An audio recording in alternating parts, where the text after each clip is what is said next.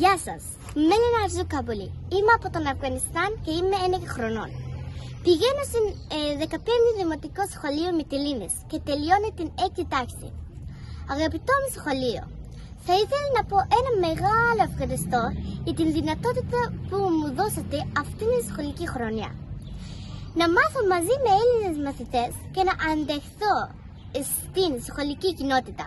Είμαι τόσο χαρούμενη που είχα την ευκαιρία όχι μόνο να γνωρίσω το σχολείο, αλλά επί, επίσης να προσταρμοστώ σε ένα νέο περιβάλλον, παρά τα γλωσσικά εμπόδια. Η, υπόσ, η υποστήριξη των δασκάλων είναι πραγματικά αυτό που έκανα την εμπειρία μου τόσο μοναδική. Γιατί οι δάσκαλοι μου μου έδωσαν ξεχωριστή μάθημα για να μάθω τη γλώσσα. Θα θυμάμαι τους δασκάλους και, τις, και τους μαθητές αυτού του σχολείου για πάντα. Ευχαριστώ που με αφήσετε να εγγράφω στην Ελληνική Δημόσια Σχολεία στην 6η τάξη για την σχολική χρονιά 2019-2020. Έφτασε σε αυτόν τον νήσι τον πρώτο μήνα του 2019 και έμεινε στον προφυγικό καταβλισμό της Μόριας με την οικογένειά μου. Ήμουν εκτός τις επίσημες εκπαιδεύσεις για 9 μήνες. Μετά από αυτό φιλοξενήθηκαμε στην σπίτι που υποστρίξει η υπάτη αρμαστία στην Μυτιλίνη και εκτιμώ πολύ αυτήν την βοήθεια. Η εκπαίδευση μου διακόπηκε από την μετανάστευσή μας. Ήμουν 6 χρονών όταν άφησα την χώρα μου τον Αφγανιστάν.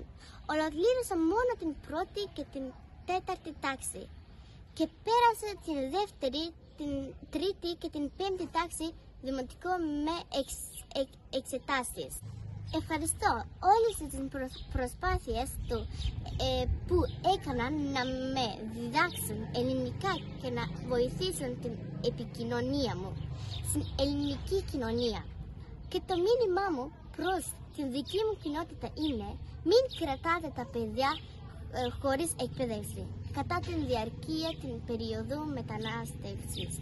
Οπουδήποτε και αν είστε, είναι σημαντικό να συνεχίζετε να μαθαίνετε. Θα πετύχουμε παρά τις περιστάσεις, όχι εξαιτίας τους. Σας ευχαριστώ ξανά για όλη την καταπληκτική δουλειά που έχετε κάνει και σας εύχομαι ό,τι καλύτερο.